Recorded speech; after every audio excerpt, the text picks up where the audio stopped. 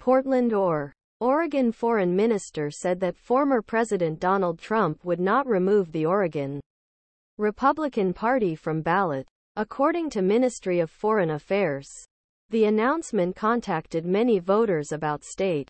Secretary Lavonne Griffin Valade, Oregon law does not give me authority to determine qualifications of candidates in primary presidency. He said, I am I will follow our usual process. And I expect a court to put me in the primary compass.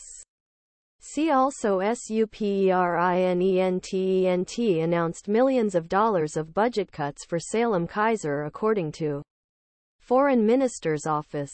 The ministry justice concluded that there is no legal authority to disqualify a candidate because there is no series qualities because who can be evaluated in convention a party nomination. I understand that people want to jump at the end of this story. But right now, we don't even know who the candidate will be, Secretary Griffin Valade said.